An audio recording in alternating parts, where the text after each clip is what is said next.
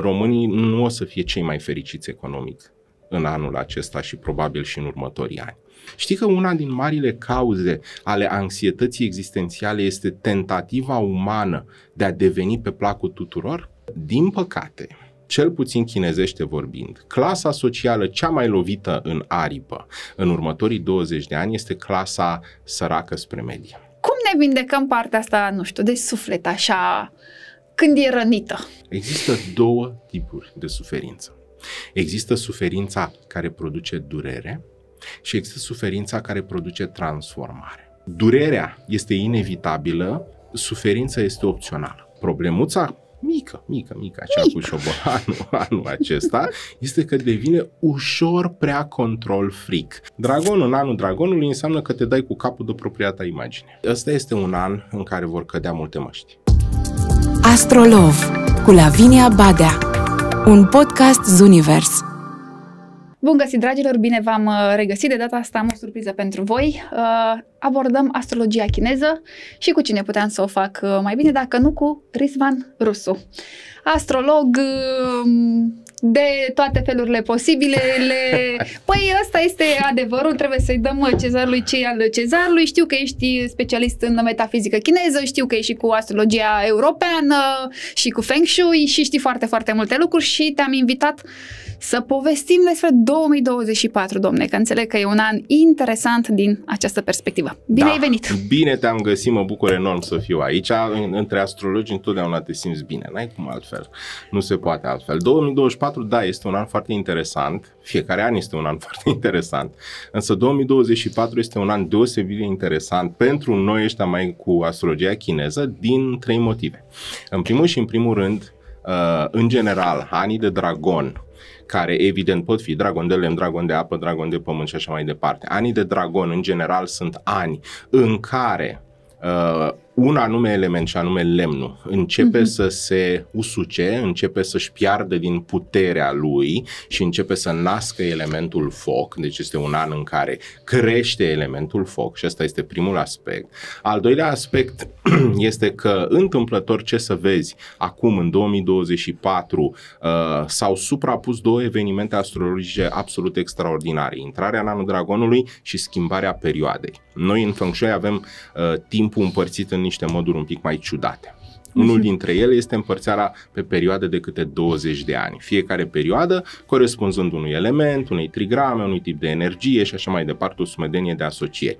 Și noi acum am intrat în perioada lui nouă, care o să dureze 20 de ani uh, și care vine cu o energie total Uh, diferită față de ultimii 20 de ani. Și al treilea aspect pe care până și astrologia chineză îl știe și îl recunoaște, pentru că și ei făceau tot felul de hărți stelare și efemeride și așa mai departe, este intrarea lui Pluto învărsător, care ce să vezi, s-a întâmplat fix în momentul în care a început perioada lui nouă și el iese din vărsător, bine, dincolo de mica, uh, știu eu, trecere pe care o are pe la sfârșitul anului, acum aia nu ne interesează, uh-huh. o mhm. amețeală, dar ieșirea lui peste 20 de ani din vărsător va coincide cu trecerea uh, în perioada lui 1, deci terminarea perioadei lui 9 și intrarea în perioada lui 1.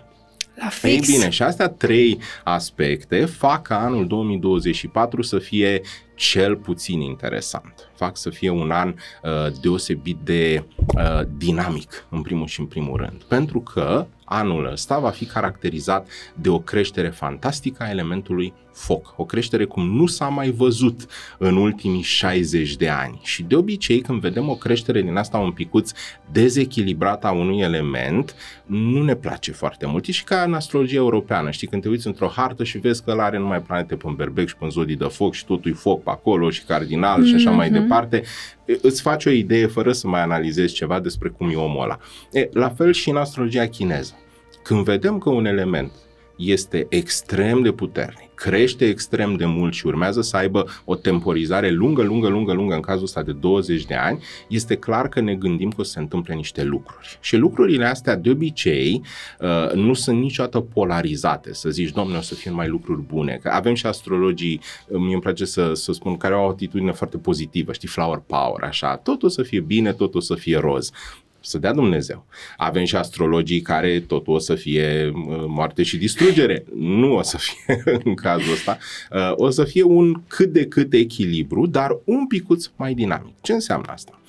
Ce calități are elementul foc? Dacă o luăm pe parte pozitivă, să spunem așa, focul în primul rând reprezintă ocultismul, ezoterismul, mm. științele metafizice de tot felul, nu doar chinezești, evident, și astea se vor dezvolta, este promisiune în următorii 20 de ani, mult mai mult decât s-au dezvoltat până acum deși clar trăim o eră în care explozia metafizicii este evidentă, de acum încolo va fi mult mai la îndemâna tuturor. Adică o să vezi oameni uh, din toate meseriile, că sunt avocați, că sunt medici, că sunt uh, uh, florari, că sunt ce fi ei, care încep să se preocupe nu doar de astrologie, ci de în alte feliuțe posibile. Asta e primul lucru deci pozitiv. Deci se dezvoltă foarte mult spiritualitatea. Foarte, foarte Sub mult. orice formă. Inclusiv la nivel mai profund, dacă ar fi să o luăm la nivel de conștiință, uh-huh. uh, conștiința spirituală sau conștientizarea sinelui spiritual, uh, a identității spirituale începe să devină extrem de manifestă. Și asta este absolut extraordinar, pentru că înseamnă ieșirea un pic din materialitate. Dar Simultan cu chestia asta crește elementul, va crește și opoziția împotriva elementului, pentru că lucrurile tind să se echilibreze. Și atunci ce o să mai apară și poate o să fie mai evident în primă fază? O să fie, uh, să zicem așa, uh, antonimia față de această uh-huh. tendință, apariția uh, laturilor opozante, oameni care vor veni și vor spune, dar ce e asta cu astrologia? Asta e o prostie. Uh-huh. Trebuie să ne bazăm pe știință, trebuie să ne bazăm pe studii, oameni care vor lupta cumva împotriva acestui curent și ăștia vor uh, apărea tot mai mult de asemenea în următoarea perioadă. Eu nu o văd ca pe un lucru rău. Putem asemăna cu un Saturn în pești? Da. Putem adică, foarte bine asemăna cu da, Saturn în uh, Suntem uh, interiorizați, încercăm să ne înțelegem mai bine, căutăm răspunsuri chiar dacă nu sunt vizibile, le simțim în interior și da, îți confirm și eu și deja uh, sunt mulți oameni care au ieșit așa cu latura asta mai ezoterică și poate discută mai mult sau se promovează mai mult și bineînțeles uh, ies și, ies și ceilalți. Da, vor ieși polemici și mai ales că focul ăsta fiind dezechilibrat, se va întâmpla un fenomen care ăsta recunosc că nu-mi place. Polemici și discordii între cei care se ocupă cu spiritualitate și astea vor crește fantastic. Am văzut câteva urme, dar asta nu e nimic din ceea ce urmează să se întâmple începând cu luna august a anului acestuia mm. uh, și mi se pare ciudat pentru că eu, spre exemplu, astrologia chineză am studiat-o uh, exclusiv în Asia și acolo, evident că sunt și în astrologia chineză sunt multe școli de gândire. Mm-hmm. Nu-ți imagina că toți gândesc la fel. Și e firesc să fie asta. Da, uh, pentru că ai mai multe păreri și fiecare se duce acolo unde rezonează. Este esențial. Da, eu am rămas uimit. Eram la petrecerea de ziua de naștere a decanului facultății pe care am făcut-o Academiei de Metafizică Chineză, Joe Yap. Și la petrecerea respectivă, foarte frumoasă, așa și fastoasă, unde eram și câțiva dintre studenți care întâmplător eram pe acolo, ce să vezi, erau invitați maestri specialiști astrologi din școli diferite. Și am rămas plăcut surprins să-i văd că se iau în brațe, că se pupă, că petrec, că dansează împreună, că ciocnesc împreună.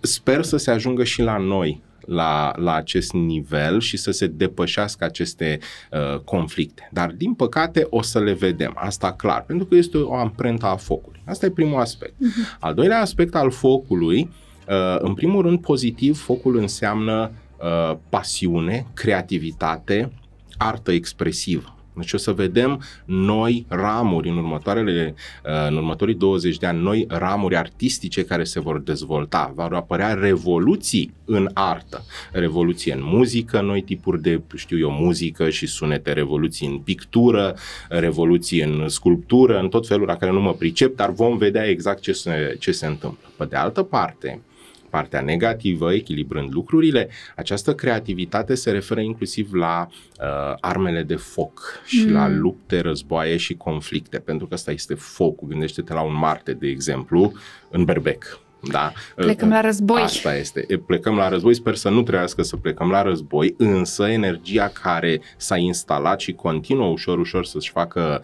uh, cuibar în perioada asta este specific belicoasă clar, fără niciun fel de dubiu. Și evident că vedem cu toții la știri că se întâmplă una alta, etc. și așa mai departe. Nu prevăd dacă ar fi să fac pe horoscopistul așa 5 secunde, deși urăsc chestia asta, uh, nu prevăd o calmitate și o pace care să se instaleze în această perioadă. Sper din tot sufletul să nu escaladeze lucrurile, pentru că până la urmă noi trebuie să ne amintim un lucru extrem de important. Totul stă în liberul nostru arbitru indiferent de ce elemente, cum se joacă, cum cresc, cum scad și cum se plimbă planetele, noi avem acea uh, fărâmă anemică de multe ori de liber arbitru. Și oamenii pot, sau cred că pot, să ia anumite decizii. Doar că, să nu uităm că anul acesta mai e un eveniment non-astrologic care se suprapune peste toate astea. Alegeri în 76 de state. Deci e clar că schimbarea asta pe care vine și o aduc uh, astrele, da, este confirmată de ceea ce urmează să se întâmple pe Pământ. Și evident că noi alegem. Și aici, și în America, și în toate țările. Și dacă alegem bine, Asta. cu liber arbitru, evident că vom beneficia mai mult de latura constructivă a elementului foc decât de latura belicoasă. Dar asta nici astrologul nu știe, că noi nu avem voie și nu putem etic să zicem, a, o să fie război. Nu știu, vom vedea. Avem o predispoziție către elementul foc, deci este clar că vom fi mai competitivi uh, față de cum suntem în mod uh, normal, dar asta nu înseamnă că știm cum să-și folosească nu. omul uh, liberul nu, arbitru, ca nu. și cum... Ce știu este că sigur românii vor avea mult mai multe câștiguri și trofee în sport de exemplu. Ce frumos! Pentru că România este sub semnul șarpelui, care este tot o ramură de foc, o zodie de foc și atunci va fi cumva întărită și vom avea succes în sport, în partea de mișcare. Din aceeași pricină, în România, dezvoltarea spirituală va fi uh, și ea mult accelerată, inclusiv a astrologiei și astea mă bucură. În rest, vom vedea în funcție de ce alegeri face fiecare. Și al treilea aspect fundamental al focului este pur și simplu dezvoltarea ta personală. Focul vine și aduce conștientizare. E ca și cum, uh, imaginează că noi ne trăim viața în niște tipare repetitive. Știi, ne trezim, ne spălăm pe dinți, ne spălăm pe față, ne bem cafeaua, fumăm țigara de dimineață, mergem la servici, la la la la la la la și toată povestea asta se repetă. Și la un moment dat avem tendința să nu mai fim conștienți de aici și acum de prezență, de clipa asta. E, în momentul în care vine focul, el arde cumva tiparele astea repetitive, le dă la cei receptivi, evident, la o parte mm-hmm. și atunci începem să fim conștienți. Bă, stai un pic, că viața nu trebuie să fie chiar așa ca o rolă de film care se derulează doar pentru că am apăsat pe un buton.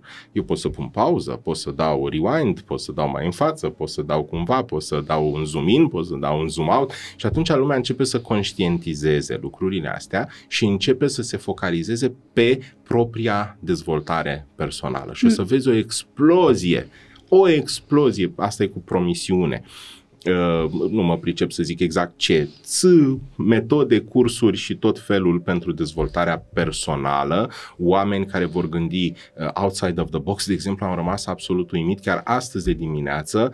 Uh, am primit un mail de la o doamnă care este, mă rog, CEO unei mari companii reprezentată și în România și spune, domne, eu am nevoie să știu exact cu Mercur retrograd ăsta ca să dau uh, un mail în toată compania să nu se semneze chestii sau să se semneze dacă îmi zici sau... Dar dacă într-o companie de genul ăsta, o multinațională, ei aleg să trimită un mail intern la toată lumea, vezi că intră Mercur retrograd, deja cred că Mercurul ăsta începe să conteze, știi?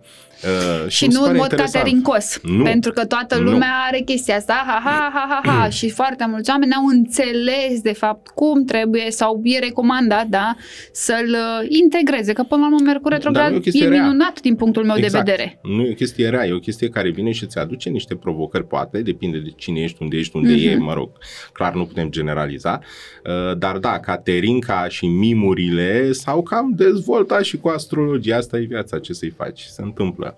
Uh, dar eu zic că o să se mai înmoaie situația, pentru că lumea clar o să se deschidă și o să înceapă să uh, devină un semn de întrebare ambulant. Mult mai mulți oameni o să învețe să-și pună întrebări. Doar că într-o primă fază, și această primă fază astrologic chinezește vorbind, uh-huh. înseamnă 2024-2029, aceste întrebări vor produce mai mult revoltă în oameni. Pentru că oamenii încep să se trezească și începând să se trezească, ei conștientizează că poate au trăit niște tipare un picuț anomice uh, sau chiar fixiste, au acceptat niște lucruri pe care poate nu era bine să le accepte și au trăit un compromis. Și oamenii vor avea tendința asta uh, aproape revoluționară de a ieși din compromis. Și asta întotdeauna creează, deși spre bine eventual, dar creează o revoltă omul care se trezește. Știi? Și revolta asta de obicei uh, apare, manifestă inclusiv în partea socială. Pentru că mergând un picuț mundan, să spun așa, uh-huh. uh, la nivel uh, geopolitic, la nivel economic, perioada asta lui nouă, peste anul dragonului de lemn, peste Pluton vărsător, uh-huh. peste toate chestiile astea, înseamnă restructurare. Deci dacă ar fi să sintetizez într-un singur cuvânt, este clar restructurare. Îmi spunea cineva zilele trecute, bă, degeaba sunt alegeri, că oricum nu avem ce alege, nici aici, nici în America, nici...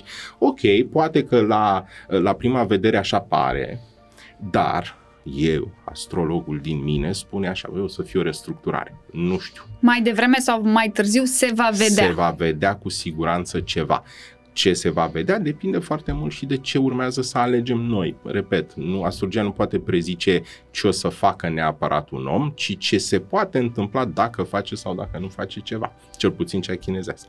E, toate lucrurile astea se transpun în viața umană uh, la diverse niveluri. La nivel global vedem restructurare, la nivel de economii uh, cel mai probabil vom vedea anumite restricții uh-huh. pentru că încep să apară, cel puțin la nivel de România, dacă analizăm harta chinezească a României, vedem o strâmtorare. Teoretic am văzut la știri că ne merge bine și vai de mine ce cifre minunate avem, evident nu mă pricep să zic cât de minunate sunt cifrele respective, însă astrologic vorbind, cel mai probabil, nu știu, că cresc prețurile sau taxele sau impozitele sau scade puterea de cumpărare, uh, românii nu o să fie cei mai fericiți economic în anul acesta și probabil și în următorii ani. Pentru că perioada asta vine și aduce oare și ce strâmtorare. Și atunci se recomandă și o să vezi și mari maestri în astrologie chineză spun așa, băi, dacă ești în Europa, mai ales în sud-estul Europei, strânge bani pune bani deoparte. Este foarte important să ai economii. În anii ăștia ai extrem de focoși și înflăcărați, uh-huh. uh, inclusiv energia banului, care se consideră a fi de obicei lemn, uh, Uh, mai ales dacă îl pui deoparte, se poate consuma, pentru că lemnul produce foc, lemnul se consumă și dă naștere focului și atunci recomandăm astrologic vorbind, să se evite cheltuielile uh, inutile, evident cele semnificative, că acum dacă tu vrei să-ți iei nu știu ce prăjituri și n-ai neapărat nevoie de ele, ia-ți-le, nu contează. Da? Dar poate dacă n-ai nevoie de a treia mașină, nu ți-o lua. Mai bine pune banii deoparte că nu se știe niciodată. Da? Uh-huh. Deci economic clar apare o strâmtorare. Mergem la un nivel un picuț și mai jos. Ce se întâmplă la nivel de educație? Este dragon de lemn. Uh-huh. Lemnul am spus că începe, uh, el are tendința să crească, că e anul lui, dar are și tendința să se stabilizeze urmând focul. Și atunci nivelul de educație va fi un picuț dat peste cap în 2024. În Iar? România cel puțin, da, va fi o aiureală maximă, urmând ca din 2025 uh, lucrurile să să se schimbe cumva. Problema este că nu știu dacă o să se schimbe în bine neapărat în România, ca să spun așa. Uh, mi-a plăcut foarte mult uh, uh, că, mă rog, cineva care se ocupă de educație în țara asta a spus, domnule, trebuie să integrăm inteligența artificială în programele educaționale. Probabil că e un lucru bun, nu știu cum să judec chestia asta. În România nu consider că e neapărat cel mai bun lucru, deși cel mai probabil o să se întâmple. Pentru că ce să vezi, inteligența artificială, computere, microcipuri, microfoane, toate astea sunt tot element foc și tot Pluton vărsător. Pluton vărsător, eu zâmbeam, gândești. dar nu voiam să te da, întrerup. Și atunci, da, probabil că partea asta de AI și de roboți și de asta se va dezvolta absolut fantastic, iar unele persoane probabil că vor fi mai reticente știi, la, la această dezvoltare. Dar vom vedea, sunt foarte curios. Problema intervine la nivelul următor. Când mergem la nivel de individ. Ai. Știi? Pentru că individul în sinea lui e un univers.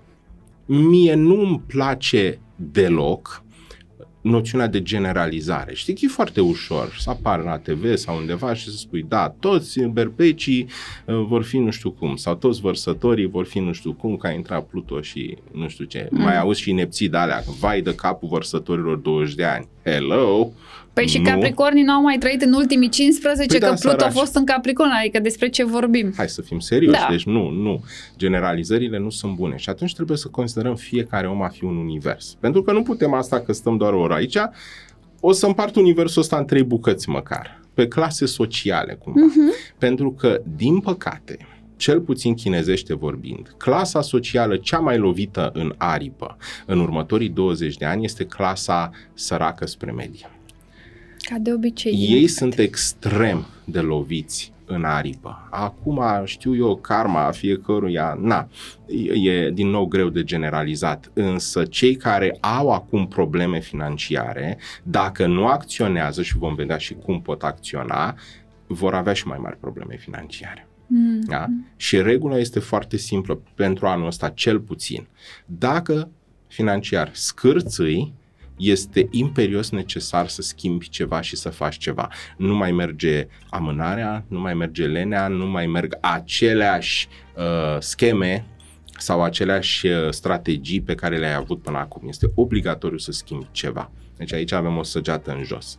Dacă e să o luăm pe clasa medie spre bine, acestor oameni le va merge super bine dacă reușesc să economisească. Deci aici avem această nevoie de care vorbeam și înainte de a economisi. Băi, și nu știu cum se face, clasa superioară o ține tot în sus. Pentru că de obicei avem ceea ce se cheamă relație fraternală, focul întreține focul, prosperitatea întreține prosperitatea și dacă ei au ajuns deja la un nivel foarte înalt, în cel mai rău caz rămân la același nivel. Dar dacă sunt inteligenți și știu să-și folosească atributele lor, o să urce și mai mult. Dacă e, ești superior, dezechilibru. ai da. făcut tu ceva bine, ai prins tu acolo ceva și că nu poți să ajungi doar prin noroc și probabil că vor ști să și întrețină. Știi, până și chinezii zic, domnule, norocul este maxim o treime din toată ecuația asta. În rest mai este și astrologia ce îți dă destinul, mai e și locul în care tu stai, feng shui casa, mediu, energia din jur și mai sunt și oamenii cu care te uh, înconjori. pentru că ăștia vin și ei la rândul lor cu energia lor e un cumul extrem de mare de factori, de asta îți spuneam și înainte de, de a filma, nu se termină niciodată studiul, adică nu, învățăm și învățăm și învățăm. Dar cert este că acest dezechilibru între clase sociale se va accentua. Și odată cu accentuarea dezechilibrului între clase sociale, ce apar? Nemulțumiri, ce să vezi, da?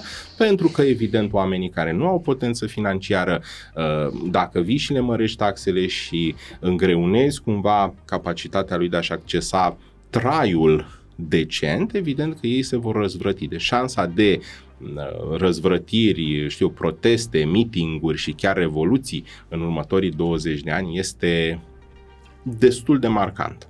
Destul de marcant. Ne așteaptă și Jupiter în gemeni, apropo de adevărul și... adevărat, care e subiectiv într-o formă sau alta. Da, vezi, Jupiter în gemeni vine, eu îmi imaginez când văd Jupiter în gemeni, uh, știi cum e un tam-tam de la cutoba, urmează să se dezvăluie ceva, știi?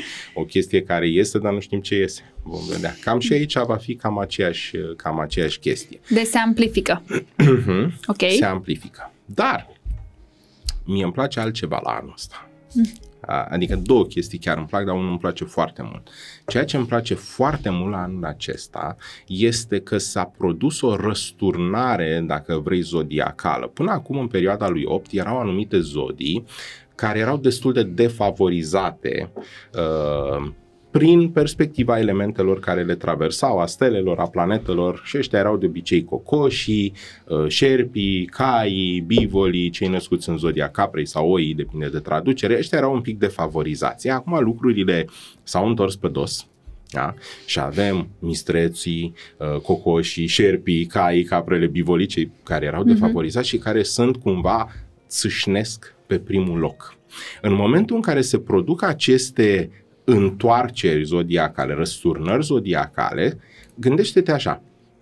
Existau anumite arhetipuri zodiacale care erau la putere, să spunem, și aveau succes. Da? Acum arhetipurile astea s-au întors pe dos, ceea ce înseamnă că puterea, și prin putere mă refer la orice formă de putere, că e putere politică, socială, puterea într-o firmă, puterea într-o familie, uh, de la mare la mic, da? puterea se va răsturna. Prin această răsturnare se vor schimba total paradigmele, ceea ce înseamnă vorba englezului a breath of fresh air, știi? O, un aer nou, noutate, inovație. Și chestia asta ne așteaptă intens. Hmm. Îți spun, în următorii 5 ani vom vedea inovație și invenție și în tehnică, și în știință, și în ce vrei tu, cum n-am văzut în ultimii 50 de ani. Wow, deci foarte asta mișto. sunt 100% sigur de povestea asta. Și asta îmi place enorm, pentru că se vor dărâma turnurile alea vechi de filde și îmbătrânite, uh, de lucruri care nu se mai aplică neapărat în această eră uh, și se vor înlocui cu ceva mult mai fresh, mult mai adaptat. Din nou, această schimbare unora nu o să le convină. Cei care nu sunt dispuși să renunțe la tiparele vechi, la tiparele uh, cristalizate, ca să nu zic chiar îmbătrânite, vor avea mici probleme. Și atunci sfatul principal e așa, fraților, în următoarea perioadă, reinventează-te. Pune așa ca la contabilitate, fă un T din ăla și vezi, ia să vedem ce nu mai am eu nevoie sau ce e poate nu neapărat avantajos pentru mine din modul în care eu văd realitatea. Cum pot să înlocuiesc sau să uh, reinventez lucrurile astea ca să fie mult mai adaptate. Da? A doua cheie este acceptarea și deschiderea. Atâta timp cât nu ne acceptăm și nu ne deschidem suficient de mult, e posibil să nu vedem. Știi, atunci când deschizi o ușă, o între deschizi, vezi așa o fâșie. E, acum e anul în care trebuie să deschizi ușa aia, uite așa, și să vezi tot ce te așteaptă dincolo. Și asta e un lucru, după mine, cel mai frumos, arzător, pregnant, important în anul ăsta. Al doilea lucru care îmi place nu e neapărat bun, dar mie îmi place pentru că la bază, mă rog, mă ocup de psihiatrie, psihologie, asta e felia formală, să spunem așa, de da. uh, non-paranormală, da, de, de ocupație. Uh, atunci când focul crește atât de discordant și lucrul ăsta se întâmplă sau inițierea creșterii se întâmplă într-un an uh, puternic gen anul de dragon, apar discordanțe la nivelul sănătății mentale. Și o să se observe la modul cel mai clar o accentuare, vorbeam chiar cu profesori de-ai mei și colegi și de la spital și de la facultatea de psihologie, uh, o creștere fantastică a cazurilor de anxietate, uh, panică, știi, angoasă, uh, poate chiar depresie, dar la cei care deja au știu eu ce predispoziții pe acolo, vom uh, vedea inclusiv splitări, uh, comportamente extrem de narcisice, mm. chiar pe linia border. Și vei vedea foarte clar, astea vor fi publice, nu o să fie neapărat în nucleul căminului, știi? Uh-huh. Tot felul de ieșiri, oameni pe care îi cunoșteai și considerai că sunt uh, pe două picioare și perfect normali și o să vină să spună, fata mea, ajută-mă că am uh, anxietate și nu știu ce să fac, știi, brusc așa apărută. De ce? Pentru că focul ăsta vine, așa cum am spus, și ne stimulează tiparele îmbătrânite, distruge pilonii ăștia uh, de fildeș și acolo înfipți zdravă. Sau chestiile astea, credințele să... astea habotnice. Trebuie să se schimbe, trebuie să ieșim din ele. Să se schimbe. Asta o să se schimbe cu siguranță, dar aici, sigur, o să evităm o anumită polemică care știm că trebuie să fie evitată, dar... Vorbind între noi așa, da. astrologic. Uh, nu o să prea mai meargă cu poveștile astea, pentru că lumea deja, uh, lumea deja se deschide. Dar orice transformare Știi cum e? În universul șamanilor, știi cum e? Ca să devii șaman, trebuie să mori. Dar când zic trebuie să mori, nu înseamnă că trebuie să mori fizic. Este o metaforă da. această moarte și trebuie să reînvii. Uh-huh. Ca să poți să reînvii, n-ai cum, fără să mori. E, această transformare, reinventare, restructurare despre care vorbeam în anul acesta, presupune o moarte, da? evident iluzorie, metaforică da. și o reînviere. Dar orice moarte este un proces traumatic. Este un proces prin care tu, ca o, uh, cum se cheamă, o pupă din aia, te transformi în larvă, te transformi în omidă și te transformi în fluture. E un proces. Doare, e un proces, ai văzut la emisiuni de astea, să chinuie larva aia, să iasă din toate alea. E, la fel o să fie și aici. Și una, una din manifestările probabil cea mai pregnantă în multe cazuri va fi manifestarea uh, psihologică, nu neapărat ca anomie sau patologie, dar clar ca tulburare. Așa că mare grijă la cei care au tendință uh, spre anxietate, spre panică, spre depresie. Sfatul este să caute în interiorul lor, evident, atât ajutor, consiliere psihologică și așa mai departe, dar să caute și să-și răspundă la întrebarea ce încearcă să iasă afară și mi-e frică mie să dau voie să se manifeste. Adică să nu mai lăsăm scheleții sub uh, pat. Știi, ăsta este un an în care vor cădea multe măști și măștile care vor cădea vor fi în preponderență măștile noastre. Doar că știi, în momentul în care scade ție masca, tu te sperii că o ai de atâta vreme pe față, pe personalitate, pe eul tău, încât ai uitat ce mai e pe acolo. Mm-hmm. Știi? Câți nu ne cenzurăm atunci când existăm, știi, stai așa că suntem la TV, stai mm-hmm. că mhm. trebuie să stăm mai așa, trebuie să nu știu ce, știi? Ne lipsește asumarea propriului eu, cu bune și cu rele că nimeni nu are perfecțiune. În afară de Doamne, Doamne, după părerea mea, toți avem acolo ceva, un mic o punct chichiți. negru, cel puțin, știi? E, și ne speriem de propria noastră umbră. Și atunci, de asta au apărut și au dezvoltat constelații familiale, uh, terapii transgeneraționale, terapiile regresive, sunt convins că ai observat că ele sunt într-o explozie da, fantastică. Da, Dacă da. te duci cu 10 ani, care nu e mult în urmă, dacă te duci cu 10 ani în urmă, mm-hmm. eu nu cred că auzeai așa de des de toate poveștile astea. Foarte puțin. Știi? Foarte, foarte puțin. Iar acum, peste tot, toată lumea știe ce e o constelație familială, toată lumea știe care e povestea asta. Uh, de ce? Pentru că noi, descoperindu-ne, ieșind la iveală, evident că iese și mâzga aia și trebuie să știi să o manageriezi. Și e mult mai simplu atunci când te ghidează cineva. De asta astrologul va fi mult mai important în acești 20 de ani. De asta vor apărea mult mai mulți astrologi asta nu înseamnă că crește concurența. Eu când au chestia asta văd negru în fața Și eu la fel. Că lumea nu înțelege că există loc sub soare pentru toată lumea, știi? Asta arată are nevoie. o micime interioară și o, o da. nesiguranță, da. Dar de va fapt. crește și nesiguranța asta în mulți. Dacă îmi pierd eu clienții. Ce sunt? Cum mă întrebau pe mine, da, de ce faci tu un podcast unde inviți alți astrologi? De, de ce nu reclamă. te promovezi, exact, promovezi doar pe tine? Pentru că oamenii trebuie să audă informația și și omul când vine la tine rezonează cu tine în acel moment al vieții. Nu are cum să se întâmple altfel. Este, adică Mă rog, noi înțelegem. Așa e, e loc Uite, sub soare. Știi, adică... apropo de astrologie chineză, Lao Tzu, un mare filozof chinez, poate cel mai mare, și care culmea are și lucrări de astrologie scrise, dar e, na, sunt mai puțin mediatizate că nu interesau pe filozofi, spune așa, nici măcar un fulg de nea nu cade acolo unde nu trebuie. Exact. Știi? Și atunci poți să fie 2730 de astrologi pe metru pătrat. Fiecare om va ajunge exact acolo unde îl trage ața, unde îl trage rezonanța și energia. Pentru că eu n-am cum să fiu un astrolog bun pentru toată lumea. Ca Nici să fie eu. foarte clar. N-am cum să plac tuturor, n-are cum să mă accepte toată lumea și it's ok. Exact. Pentru că Exact. asta este natura lucrurilor. Știi că una din marile cauze ale anxietății existențiale este tentativa umană de a deveni pe placul tuturor? Da. Asta e chestia. Și, Și din chiar nu e păcate va cazul. crește odată cu elementul foc în anul 2024. Eu lucrez și cred și îmi place foarte mult ideea de autenticitate. Și atât timp cât eu sunt în autenticitatea mea, sunt ok și cu ideea să nu mă placă altcineva. E ok. Așa și tu și așa și cu informația asta. Când vrem să devenim așa super plăcuți și acceptați de toți, ne, Fake news. Da, ne, suntem precum forma, așa, apa într-un pahar și ne tot pliem și atunci ne pierdem din esență și Mhm. consider că viața e scurtă, aș vrea să învăț cât mai mult, să trăiesc cât mai mult și ca atare ce rost are să-mi pierd timpul? Timpul este extrem de prețios. Este și, by the way, apropo de timp, și mă bucur enorm că mi-ai adus aminte, pentru că bătrânețile mele mă făceau să uit. Percepția timpului în astrologia chineză intră tot sub umbreluța elementului foc.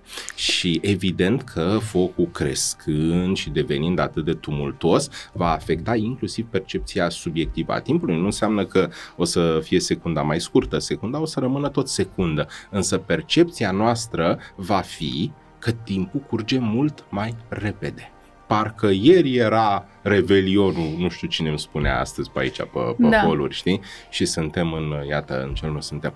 Dar uh, percepția asta a timpului accelerată nu e nici ea un lucru rău. Lumea spune, aoleu, uite cum curge timpul. Este un semnal, în primul rând, de alarmă că fiecare clipă contează și că e bine să ne centrăm în aici și acum, știi? Pentru că lumea uită să trăiască momentul prezent. Dacă lumea ar fi conștientă când mănâncă, că mănâncă, când face baie, că face baie, când face dragoste, că face dragoste, nici nu s-ar mai îngrășa, uh, ar fi și mai curați inclusiv energetic și probabil că în momentul culminant al amorului ar fi mult mai intens. Asta înseamnă a trăi aici acum un soi de mindfulness, dar mai profund decât doar acel mindfulness comercial, da. ca să spunem așa, știi? E, și vreau să mai zic două chestii care sunt foarte importante legate de, legate de anul acesta. Da. Uh, noi în astrologia chineză, ca să spunem, ca și în astrologia europeană, nu spunem, doamne, există zodii rele, zodii bune. Nu există. Toate au echilibru perfect între oportunități și provocări. Mhm. Da? Sigur că în fiecare an, altfel cum vorbim în europeană de tranzite, de progres și mai departe, în fiecare an mai vine pe, peste tine ceva și te provoacă și scoate la iveală anumite lucruri. E, cevaurile astea, care în astrologia chineză sunt în general stele, noi lucrăm foarte mult pe poziții stelare, chinezii au făcut unele dintre cele mai uh, complete efemeride ale stelelor, evident că ele nu se mai aplică exact acum când s-a mai modificat una alta, dar arta de calcul a rămas aceeași. Steluțele astea care vin peste zodiac în acest an uh, sunt total anormale, între ghilimele. Se întâmplă ceva. Opa. Se întâmplă ceva care în astrologia chineză, asta se numește reconstituirea mare. Da? Ta Shuang Ming se cheamă pe, pe chineză, Marea Schimbare a Destinului. Și această Marea Schimbare a Destinului se întâmplă în general odată la 60 de ani și durează între 1 și 5 ani, depinde. Pentru noi o să dureze aproximativ 2 ani în acest moment și mai vorbim peste 60 de ani în viața asta sau următoarea, nu știu cum o vrea Dumnezeu, ce se Doamne întâmplă. ajută! Da. Ce înseamnă diferența asta? Diferența asta înseamnă că aproape toate uh, semnele zodiacale se, uh, se vor remodela, se vor reinventa și se- își vor schimba foarte mult anumite caracteristici. De exemplu, uh, evitând generalizările stupide, știi cum se zice chestia aia, prostia aia, domnule, toți câinii sunt fideli, toți tigrii sunt energici, când aud asta mor, nebunesc. E, dacă până acum nu se putea generaliza, să vezi de acum încolo. Cum se va traduce asta pentru omul uh, normal? Se va traduce așa, oameni pe care îi cunoști de ani de zile și pe care știi că îi poți caracteriza cu următoarele uh, liniuțe. Nu o să se mai încadreze în liniuțele alea. Ah, ce mă Uh, bucur! comportamente exact cu care te-ai obișnuit de la oamenii din jurul tău se vor modifica. Evident că această modificare nu poate să fie mereu benefică pentru că percepția e în ochiul privitorului. Pentru mine poate modificarea m, ta poate să nu fie bună, dar pentru el poate să fie extrem de bună. Știi? Dar important e- și esențial este această schimbare. Și această schimbare e bine să fie cumva susținută de noi înșine. Și se spune așa în, în astrologia chineză. Tu, indiferent de ce zodie ești, indiferent de asta, nu trebuie să știi nimic paranormal, trebuie să faci următorul lucru. În anumite puncte cheie ale anului, este bine să-ți dedici niște clipe, un sfert de oră, jumătate de oră, 20 de minute, mai departe, cât vrei tu, să-ți analizezi strategic viața. Ce se schimbă în tine? Tradițional, ei calculau niște date care se numeau date imperiale și în aceste date, printre alte lucruri care se puteau face, uh, împăratul și toată curtea imperială stătea și medita. Stătea și se gândea cum cerul și lumina celestă vine și îi purifică de toate lucrurile de care nu au nevoie. Și una din aceste date uh, extrem de importante pentru anul acesta și e prima oară și când dau public acest lucru, lumea nu l-am dat nici la conferințele mele, uh, este data de 1 mai. Minunat! Notați! Data de 1 mai este o dată specială în astrologia chineză. Uh, Este acea dată în care, indiferent de oră, nu contează ora, e bine să-ți iei 15 minute, a zice eu, minim, până la cât vrei tu, în care, fără să te deranjeze nimeni, contempli trei aspecte. 1. Purificarea, ei în mod tradițional își imaginau cum lumina tuturor stelelor din carul mare coboară și te purifică și intră prin tine și așa mai departe, dar poți să te purifici cum simți tu conform sistemelor pe care le-ai învățat, nu trebuie să fii neapărat da. asta cu carul mare. Al doilea lucru, trebuie să-ți pui întrebări. Cheia este să-ți pui întrebări și anume, ce e bine să schimb la mine, uh, ce am de făcut în continuare ca să-mi fie bine, uh, cum ar fi recomandat să acționez astfel încât să. Și al treilea lucru cu care se termină acest mic exercițiu este ceea ce se cheamă binecuvântarea celor 10.000 de ceruri. Ce înseamnă asta? La sfârșitul acestei mici meditații îți imaginezi toate posibilitățile tale vitale, tot ce se poate întâmpla cu tine de acum înainte, astea sunt metaforic cele 10.000 de ceruri, și îți imaginezi cum, ca un uh, dragon puternic, la ei dragonul știi, era împăratul, simbolul central, binecuvântezi toată viața ta cu toate posibilitățile ei și rogi ca toți îngerii, bine, ei n-aveau îngeri, dar o traducem pentru da, România, pentru toți noi. îngerii, toate ființele divine, să te protejeze, să te ghideze și să binecuvânteze fiecare clipă și fiecare posibilitate. Asta mi-a plăcut, e unul din lucrurile care mi-a plăcut enorm la astrologia chineză. Băi, e o știință veche de 6000 de ani și totuși au o gândire atât de cuantică. Mhm. Ei merg pe principiu, sunt, în clipa asta sunt 10.000 de posibilități. Nu e una. Nu există astrolog care să zică, da, uite, acum ești aici frumos la astrolog și filmezi și e minunat și peste 10 minute o să fii nu știu unde. Nu, acum ești aici, dar de aici există 10.000 de posibilități. Hai să te învăț cum să faci să o găsești pe aia bună. Asta este o chestie absolut extraordinară. E un fel de, uh, dacă vrei, partea de astrologie electivă, Mm, ce fain. dar un picuț mai, uh, na, chinezi, metaforă, poezie, știi, la ei lucrurile sunt... Să-ți uh, alegi. Exact, sunt extrem de, de drăguțe și exact asta îți dai pus punctul pe ei, îți dă puterea să alegi. Pentru că marea dudă pe care noi o avem, care e? Ne simțim prinși, ne simțim incapabili să alegem, poate limitați de resurse financiare, mentale, umane. Da? E, astrologia în general, și vezi că am tăiat chineză, îți dă puterea să alegi. Îți A. dă capacitatea să fii stăpân pe propriul tău destin. Acum să nu se înțeleagă că nici eu nu sunt obsesiv și nu stau non-stop cu ochiul în hartă și când mă duc uh, să cumpăr banane de la magazin, mă duc să văd dacă nu știu ce face Mercur. În niciun caz. Dar, măcar la momentele cheie, Da. ai o putere. Mhm. Așa încât împuterniciți-vă. Asta e esența anului. Da.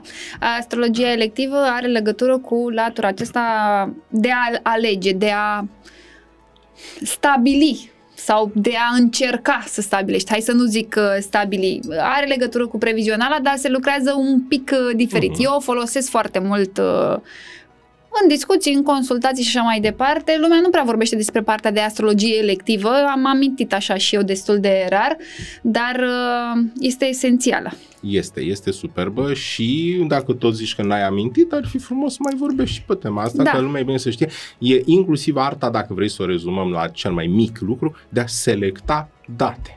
Exact, când te Când căsătorești, e cel mai când, bine să... uh, La noi și o să ajungem exact așa, o să vezi în următorii 20 de ani. Știi că în China, încă ei fiind de mici învățați cu partea asta de metafizică, măi, ei nu se însoară, nu se mărită, nu vând casa, nu schimbă casa până când nu se duc la astrolog. Așa cum noi avem, știu, avocatul, psihologul, dentistul, ei au și astrologul Da. familiei, știi? Și e extraordinar. Dar în metafizica chineză mai e o știință dincolo de astrologie, se numește Chimendungea. A, Arta secretă imperială a ascunderii generalului s-ar traduce, ceea ce nu face mult sens, dar Chimendungea era un soi de arta războiului. Este cea pe care s-a bazat Sun Tzu când a scris arta Ah, războiului, ok, știi? știu, asta Și știu. Chimendungea, puțină lume știe că e tot un soi de știință astrologică care îți permite inclusiv să analizezi ceea ce noi am numit în astrologia uh, modernă orara, știi, astrologia Mhm, orară. da. Există hărțile astea cimen orare în care, indiferent de ce întrebare îți pui, deschizi harta, ea arată foarte complex și știind regulile de acolo poți să afli una alta. Și îți spuneam și înainte să, să ne vedem că mi se pare și poate revelația mea numărul 1 Sigur, am început cu astrologia modernă cu foarte mulți ani, după aceea ți-am povestit cum am dat cu nasul de cea chinezească, acum na, le iubesc pe amândouă. Ce îmi place cel mai mult este să văd aceste paralele. Știi? Urma că... să te întreb și eu. Și când te uiți pe harta... Uite, chiar o să ne uităm și pe harta mea la un moment dat.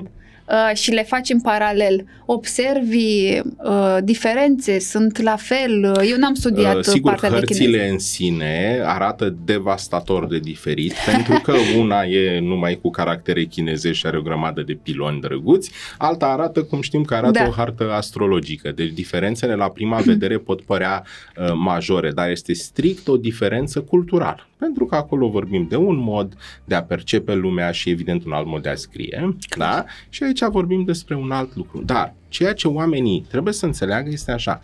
Avem în astrologie chineză planetele. Că în astrologie europeană îi spunem Jupiter sau vechiul marele benefic. Uh-huh. Nu mai plac denumirile astea, dar hai să zicem că încă se folosește. Da. În astrologia chineză îi spunem marele duce Jupiter. Avem pozițiile lui. Orice astrolog chinezesc trebuie să știe în fiecare clipă unde e marele duce Jupiter. Noi mergem, îl luăm pe Jupiter ca fiind cel mai tare din parcare. Știi? Păi și în, la noi Așa. cam... și ne luăm, ne luăm după el. Bun.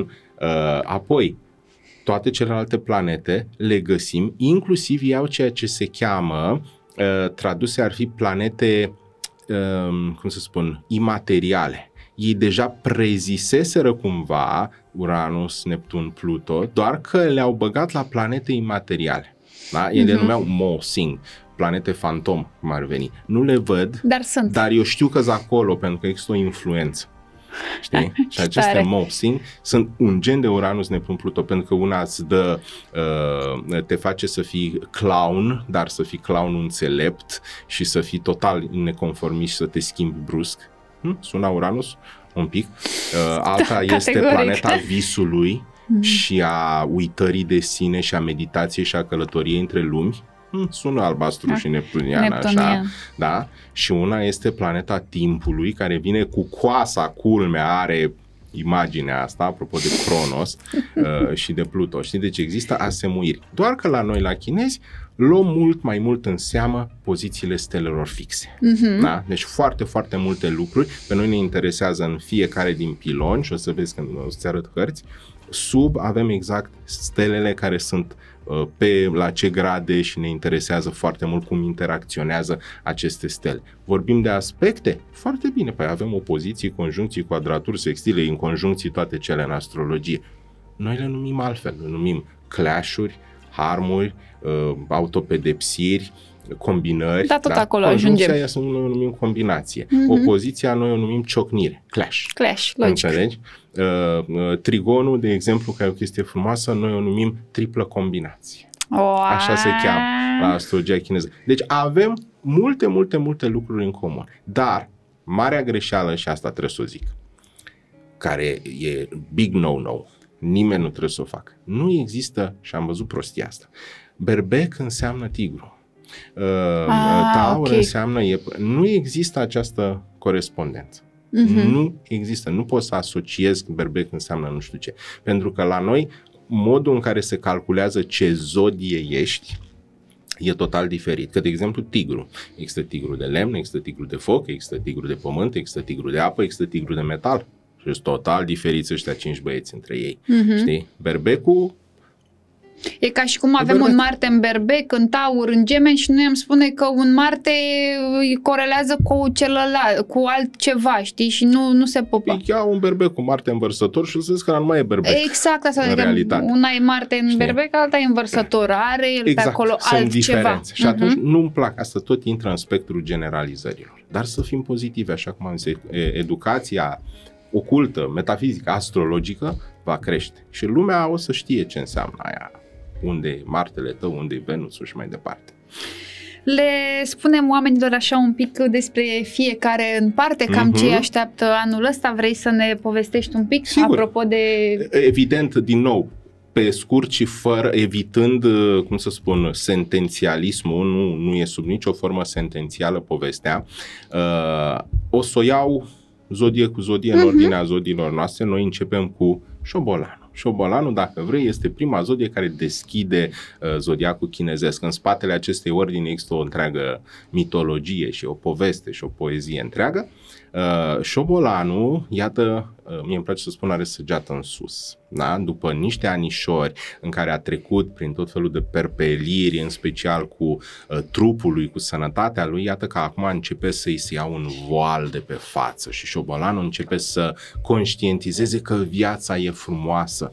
Este un an de dezvoltare pentru uh, bătrânul șobolan, un an în care învață extrem de mult să facă lucruri noi. Mm-hmm. Uh, problemuța mică, mică, mică, aceea Mic. cu șobolanul anul acesta, este că devine ușor prea control freak și vrea în această dorință de a ști, de a vedea, de a nu știu ce, dar uite, vezi, paharul ăsta acum e mai bine. Mm. Vezi? Cam ăsta este șobolanul în, în anul dragonului de lemn. Vrea ca lucrurile să fie foarte simetrice, foarte bine și chestia asta nu face decât să genereze un potențial de anxietate. Mm-hmm. Și atunci lecția principală pentru șobolan în 2024 e așa, chill vrei să te cunoști, cunoaște-te, vrei să explorezi, explorează. Dar dacă vezi că o chestie mai strâmbă, poate așa vrea să fie strâmbă, nu trebuie să controlezi totul în jurul tău, esența este să te autocontrolezi pe tine, știi? Pentru că asta dacă citești în cărțile de predicții, să spunem așa, spune Șobolan, un an de dragon de lemn poate să se împiedice și să jupă picioarele, pentru că este atât de atent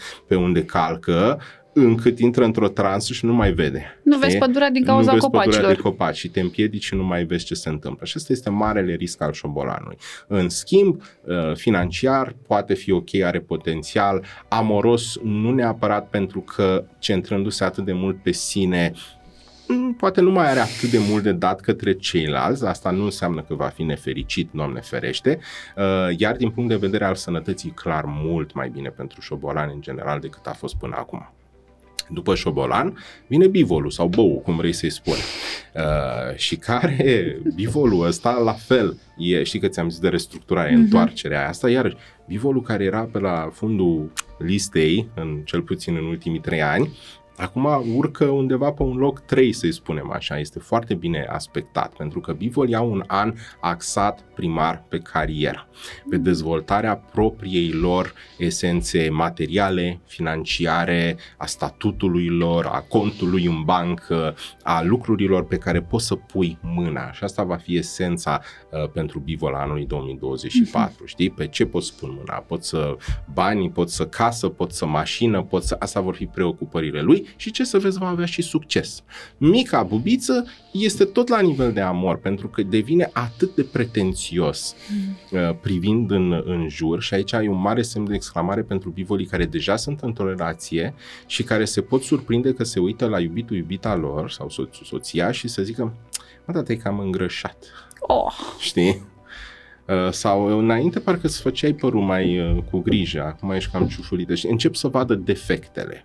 Și din această pricină poate e bine să învețe un picuț diplomația. Mm-hmm. Și ca paranteză drăguță, dacă ești bivol și asta e karma ta să fii și berbec în uh, astrologia europeană, ăștia devin cei mai rebeli posibili în anul acesta. Se aplică și la ascendent? Se aplică și la ascendent, cu siguranță. Avem și noi un soi de ascendent, dacă uh-huh. vrei, în astrologie, se numește pilonul lunii, dar o să te învăț și o să vezi, uh-huh. foarte drăguț. După bivol, trecem frumos sezon de primăvară și începem cu tigru. Tigru care anul acesta are de muncă. Anul ăsta este anul în care tigru va simți nevoia, presiunea de a munci, de a clădi, de a Uh, construi, de a strânge, de a ghida. Se va transforma într-un super bun lider, într-un super bun uh, guru al celorlalți, într-un super bun ghid uh, și îndrumar pentru tot ce se întâmplă în jur. Bubița cu tigru este că atunci când ți se dau foarte multe pe tavă și apar mai ales responsabilități, este riscul să-ți crească orgoliu. Și atunci mhm. conflictele uh, din viața tigrului în anul 2024 poate apar un pic mai ușor decât până acum. Și e bine să, uh, să-și țină orgoliu în șah, să învețe să asculte părerea celuilalt, să învețe să ierte, și să învețe să accepte că lucrurile nu merg întotdeauna exact așa cum vrea el, că asta e, nu se poate. Da? Dar îi merge bine cu banii, îi merge să fie sănătos, să investească bani în dezvoltare personală. Ăsta este cel mai bun sfat pentru tigru. Mergem mai departe și vedem ce face iepurașul, care iepurașul până acum a trecut prin niște ani extrem de uh, horny, dacă îmi permit să spun așa, în care a primat extrem de mult, noi îi spunem uh, floarea de piersic, adică amorul, partea de mm. relații, partea de gingășie, poate chiar partea mai, mai senzuală și erotică. E brusc acum, iepurașul nu mai e atât de atras de partea asta pentru că realizează că trebuie să mai și uh, muncească da? E, iepurașii care au responsabilități la locul de muncă, la job, se vor surprinde cu suplimentare responsabilități, se vor surprinde cu și mai multe lucruri de făcut, da? Uh, și ce mi se pare interesant la ei este că nu vor avea tendința de răzvrătire. Devin uh, cumva destul de maleabili și învață să se adapteze. De asta ei vor avea un succes extraordinar în plan academic. Este un an uh, excepțional pentru toți cei din zodia iepurelui să învețe lucruri noi, să dea examene, să se perfecționeze, să ducă să mai facă un master, un doctorat sau mai știu eu ce. Iar amoros, mai scârții anul ăsta, dar sunteți iepuri, cam an. Vă reveniți în anul calului peste 2 ani, fără niciun fel de probleme. Mergem mai departe și avem dragon. Oho. Și îmi place generalizarea asta. Bă, dragonului merge bine că e anul lui, prostie. Nu există, e anul tău, știi? Extraordinar, așa. Și dragonul cu dragonul, zicem noi în astrologia chineză, intră în autopedepsire. Au, dragonul opoziție. în anul dragonului, exact. Dragonul în anul dragonului înseamnă că te dai cu capul de propria ta imagine. Înseamnă că dragonul devine nehotărât, dragonul devine cu fundul în două luntri, ce să fac, să fac așa sau să nu fac așa. Își schimbă imediat macazul, își schimbă părerea și din pricina asta tinde să enerveze mult pe cei din jur. Dragonul devine un nucleu conflictual în anul 2024. Mm. Da? Și de asta noi spunem așa, dacă ești dragon, învață tehnici de respirație, învață să te relaxezi, când vezi că tremură dinții, te enervată la nu știu, ciupește, te iați un elastic din ăla, de, ți-l lovești la încheietură, fă ce știi tu, da, ca să te calmezi. Este imperios necesar ca orice dragon să evite conflictele, în special în cuplu, pentru că acolo este cea mai mare uh, tensiune. El vine, va avea tendința să vină de la serviciu, știu eu, și să verse tot amarul uh, în casă și asta nu este cel mai bun lucru. Și de asta, în an de dragon, dragonul trebuie să-și găsească hobby-uri și să facă mișcare, să facă sport, da. să ardă energia asta în surplus. Ok? Mergem mai departe și avem șarpele care, iată, să bucură și el după 2 ani în care nu prea s-a bucurat și are o eliberare emoțională, în primul rând, pentru că el conștientizează că lucrurile nu sunt chiar atât de teribile cum se gândea el că sunt. Uh, Părul românește începe să aibă noroc. Hai, Da? doamnești. Și atunci șerpii încep să fie norocoși, pur și simplu sunt la momentul potrivit, la locul potrivit, lângă persoana potrivită și se întâmplă tot felul de sincronicități, coincidențe Uh, deși eu nu cred în ele, ei așa o să le perceapă, foarte plăcute și foarte drăguțe, care o să-i propulseze în special în carieră și în tot ceea ce ține de mediul social. Dacă ești, știu, influencer, e un an excepțional în cazul în care ești șarpe. Dacă ești cal, în schimb, la fel, săgeată în sus, ne place foarte mult, reușește să vină cu creativitate, reușește cu de toate. Problemuța majoră a calului în anul 2024 este frica emoția în exces, uh, ieșirea la suprafața unor traume poate încă nerezolvate. Uh, și lucrurile astea vor trebui adresate în modurile cele mai blânde. Pentru că, ce să vezi, căluțul tinde să se autopedepsească și să fie extrem de masochist, să muncească prea mult, să se culce prea târziu, să mănânce prea mult, să bea, bea prea mult, să fumeze prea mult.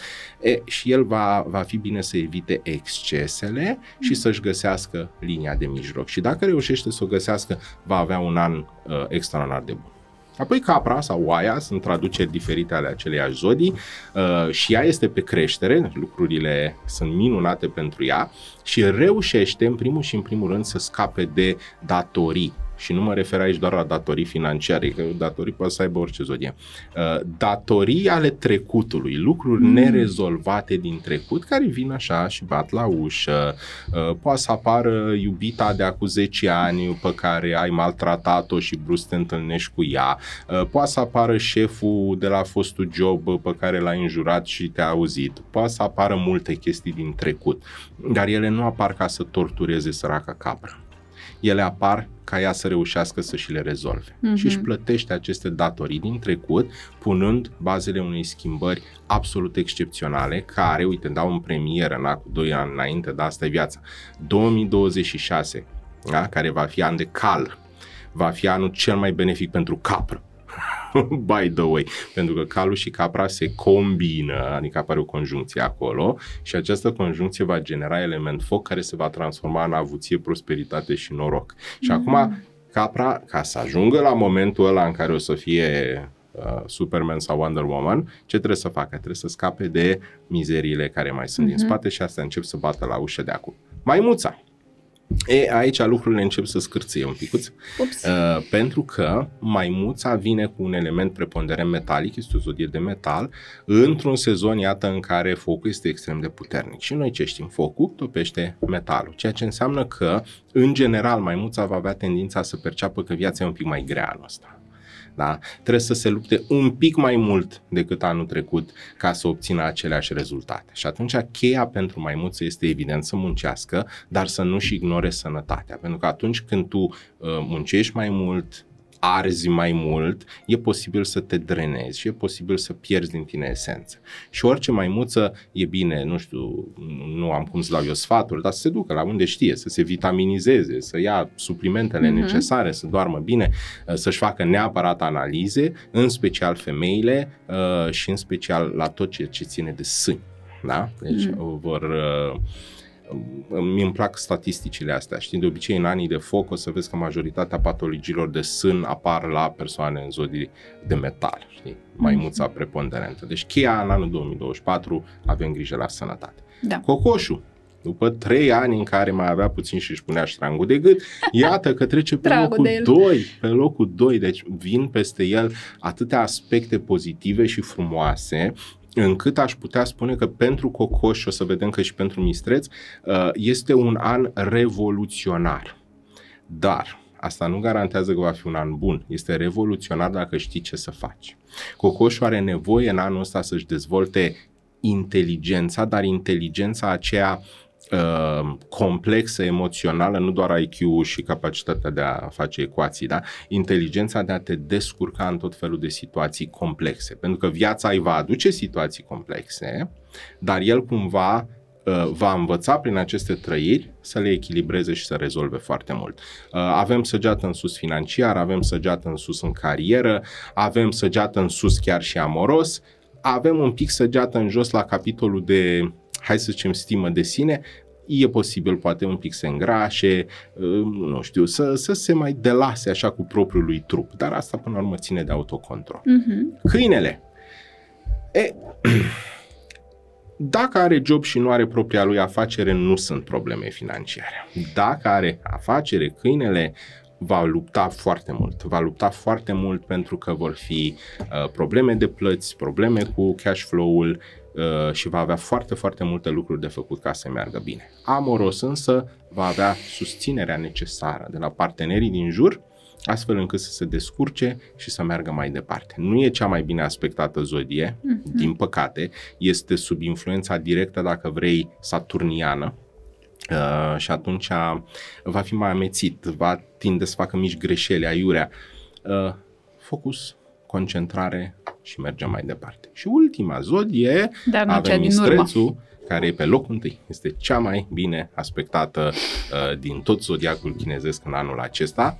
Asta nu înseamnă că niciun mistreț nu o să-și rupă o unghie niciodată în 2024, dar înseamnă că uh, cumva norocul ăsta ceresc este de partea lor, au șanse majore în absolut toate capitolele, cu excepția poate unde scârție situația un pic în capitolul amoros. Ei se focalizează atât de mult pe a le merge bine, încât uită că mai au o nevastă sau un soț acasă, sau că poate ea de acasă copiii mai au niște nevoi și atunci apar probleme. Dar în rest, undă verde și săgeată în sus. Asta pe scurtul scurtului, repetând că este strictamente o, o generalizare. Și vreau să-ți mai zic o chestie și, și tac.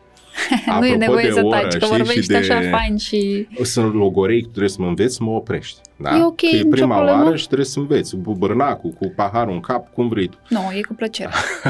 La astrologia chineză, ca să fac și un pic de reclamă, dacă n-ai ora sau dacă nu dai ora astrologului, noi tot putem să facem harta, dar fără pilonul orei. Și vedem minus niște chestii, uh-huh. evident. Știi, în astrologia europeană, dacă n-ai ora, S-a cam terminat faci situația, solară, faci da. o chestie. Adică n-ai ascendent, că și ăla se schimbă repede, n-ai niște chestii. E, în astrologia chineză, dacă nu ai ora, îți lipsește un pilon, pe care mm-hmm. noi îl numim pilonul orei și care de obicei ne arată aspirațiile, dorințele cele mai profunde și destinul copiilor noștri. Dar în rest, toate cele se văd, știi? Și este absolut fantastic să vezi, și am făcut chestii de genul ăsta, uh, persoane care aveau dubii cu referire la uh, ora nașterii. Nu știau, bă, nu mai ține mama minte, uh-huh. m-am născut așa sau așa.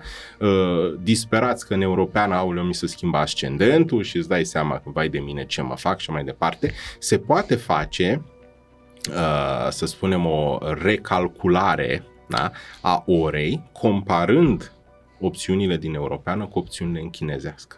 Pentru că cea chinezească vine și descrie foarte bine personalitatea, uh, anumite evenimentele ei din tranzite, din progresii cu Da. europeana, le pupi pe amândouă și să te duci să vezi. Și după aia mie îmi place să-i și trimit la spital, să ceară în arhive dacă au cumva și să vedem confirmare. Da.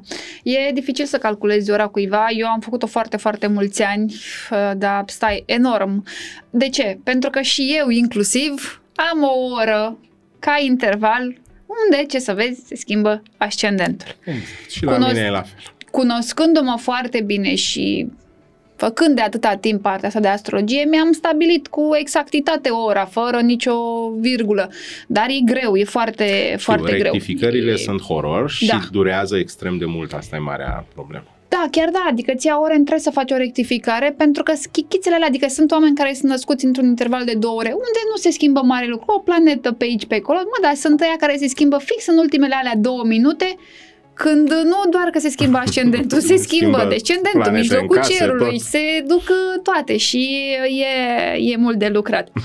Ai uh, zis mai devreme ceva cu plăți, cu datorii. Vreau să te întreb așa, în astrologia, chineză, da?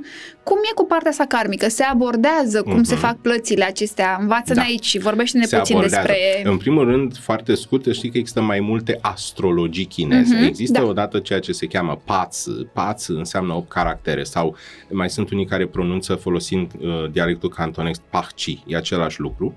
Uh, și este astrologia celor patru uh, stâlpi ai destinului și în care avem componenta karmică prin ceea ce se cheamă stâlpi suplimentari. Avem pilonul de concepție, avem pilonul nașterii, avem pilonul trecutului, avem pilonul viitorului, uh, avem pilonul nodurilor, care e un fel de dacă Mhm. vrei, axa nodurilor lunare și vedem lucrurile astea, dar mai există un alt tip de astrologie chineză absolut extraordinar care se cheamă astrologia stelelor purpurii Mhm. și în harta astrologică a stelor purpurii, culmea, ea seamănă mult mai mult cu cea europeană, avem 12 palate, nu Da, se da, cheamă da. case, se cheamă palate, între care avem opoziții, conjuncții, trigoane, aici deja avem exact aceleași denumiri. Uh, și acolo avem niște steluțe care ne arată în funcție de poziția lor de unde vii, care sunt bubele pe care le ai de rezolvat și încotro ar fi bine să te îndrepți. Dacă ne gândim la axa dragonului, axa nodurilor Da. lunare, ceva similar. Doar că ei merg mult mai mult pe două aspecte și aici e o mare diferență față de astrologia europeană. Uh, ei merg foarte mult pe cât bine ai făcut, deci la ei contează foarte mult, uh, na, până la urmă sunt budiști. Da, da, majoritatea. da. Dharma. Uh, și exact. Și merg pe ideea asta, axul karmic dharmic, știi? Cât bine ai făcut, n-ai făcut, ca să vedem cam cât bine ar fi bine să faci. Pentru că dacă nu faci, ei vin în astrologia asta și îți arată hărți diferite. Uite, dacă nu faci, viața următoare o să ai harta asta. Deci Ops. noi avem o chestie foarte drăguță prin care uh, putem să bănuim cum o să arate harta în viața următoare, dar putem să calculăm viața din hărțile trecute și atunci vedem care sunt lecțiile, uh, care sunt provocările care apar și partea care mie îmi place cel mai mult, culmea în europeană relaționala nu e cea care îmi place cel mai mult. Go Planet. În chinezească îmi place, pentru că în chinezească, atunci când compari două hărți ale lui Gigel și Gigica, Și eu tot Gigel zic. întotdeauna asta, la mine e Gigel și Gigica. e indiferent. exact. E, Gigel și Gigica le compar hărțile, dar le compar și hărțile karmice Da. ale trecutului lor. Că o să vezi că o se mărită Gigica cu Gigel. 5 ani, minunat, fericire, lapte și miere, după 5 ani o bat o bagă în spital. De cum s-a întâmplat asta? E, când te uiți în hartă, vezi că urmează să se activeze știu eu ce, datorită unor probleme din trecut. Și aici evident că ne complicăm, că intrăm și în Înveți să transgeneraționale și în lucrezi, toate e, cele. da, e, e intens. Deci cumva există și aceste plăți care evident se văd și se, se poate autoregla, adică măcar înveți Da.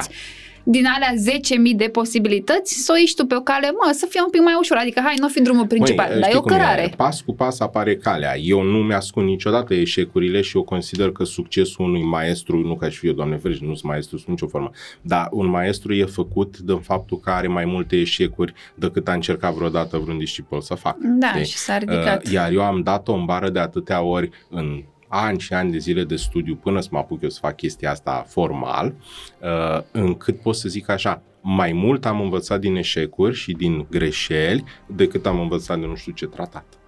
Păi așa se întâmplă, pentru că asta e, până la urmă, es- esența vieții, experiența. Știi vorba aia, te bate cu experiența? Cam așa e. Cam așa e, da, cam așa e. Și mai vreau să te întreb ceva. Uh, aș avea mii de întrebări să spun, dar trebuie Da, să mai azi filmăm n-am vreo treabă. 5 emisiuni, să știi. Uh, nu trebuie să-mi răspunzi din perspectivă astrologică, europeană, chineză. Răspundem de Alta la tine. nu știu, să știi, doar. Nu, de la tine ca om din experiență. Cum ne vindecăm partea asta, nu știu, de suflet, așa, când e rănită? Mm. Cât, cât timp ai? Cât vrei tu. știi? Uh, asta e partea cea mai frumoasă și interesantă, știi de ce? Apropo, o, o să la sfârșit și după aia vin cu începutul. Când vezi un om care s-a transformat și care a reușit să-și vindece niște răni sufletești profunde și îi vezi fața, știi, timia, zâmbetul, ochiul, ăla e momentul în care eu cel puțin gândesc, frate, a meritat fiecare clipă, cent și bă, fir de păr alb pe care l-am obținut învățând toate chestiile astea. Transformarea și găsirea bucuriei este doar un proces de conștientizare. Bucuria e deja acolo, o ai, e în tine, nu e în cer, nu e sub pământ. Toate tehnicile, tot ce aplicăm, că e astrologie, că e șamanism, că e meditație, că e regresie, că e constelații, că e nu știu ce, nu fac decât să scoată la iveală ce e acolo. Și odată am spus chestia asta cuiva la televizor și îmi spune, dar nu, că e, viața e plină și de suferință. Hai să spun, există două tipuri de suferință. Există suferința care produce durere și există suferința care produce transformare. Suferința este, uh, cum să spun, durerea este inevitabilă, suferința este opțională. Atunci când îți apare acea suferință, tu ai puterea să o repaternezi, o trăiești, că e suferința, asta e, n-ai cum și eu o să am și tu o să ai și toți o să o avem. Uh, dar, în loc să o conștientizezi ca fiind, aoleu, uite ce suferință, gata, asta este, poți să spui, ok, doar în ultimul hal, I hate this shit. Dar, Poți să spui chestia asta. Dar sunt atât de curios să văd unde mă duce și cum mă transformă chestia asta și ce iese la suprafață. Și știu că o să se uită lumea și o să zică, fugi mă de aici, în mijlocul suferinței poți să zici chestia asta. E, hai să dăm și aici soluții. Eu, până acum, e, sunt mai boșorogel, dar nici în halul ăsta. Da, sper să mai descoper și chestii noi. Până acum, ce am descoperit eu că funcționează cel mai bine pentru vindecarea acestor răni este arta meditației. Meditația este arta și cărarea le- uh, regală, imperială, cum vrei tu să-i spui, pentru a-ți pansa și a-ți vindeca toate rănile interioare. Și aici când zic meditație, deja am deschis cutia Pandorei. Mhm. Păi și regresia e o meditație. Păi și punerea față în față cu tine și acceptarea și autoacceptarea și iertarea ta e o meditație. Totul se transformă în meditație. Și atunci eu spun așa. Transformă-ți fiecare pas în meditație. Când ieși, când te-ai trezit dimineața, te-ai ridicat în propriu fund, imaginează-ți că se duc niște rădăcini așa din tălpile tale până în centrul pământului, fă câteva respirații, fii prezent. Chit că îți vine să faci pipi. Fii prezent acolo, câteva respirații. Imaginează-ți că cu fiecare expirație duci în pământ toată mizeria, tot ce a stagnat de-a lungul nopții și cu fiecare inspirație aduci din univers tot ce e mai frumos. După aia te duci, faci pipi. Bun, când faci pipi nu elimini doar pipi. Elimini toate obstacolele, toate toxinele mentale, emoționale, fizice și așa mai departe. Când te speli pe față, spală mereu cu apă cât mai rece. Deschide ochii în apa respectivă. Clătește-ți inclusiv globii oculari. Chestia asta crește foarte mult nivelul de endorfină fiecare, sacralizează, îți consacră fiecare pas al vieții tale și transformă în meditație. Ieși pe ușă să te duci la uh, servici, să te duci să faci nu știu ce, nu deschizi ușa, deschizi ușa către succes. Ai o oportunitate. Da. Ai pornit mașina și vezi drumul în față, nu este doar un drum de ciment cu gropi în el, este un drum de lumină.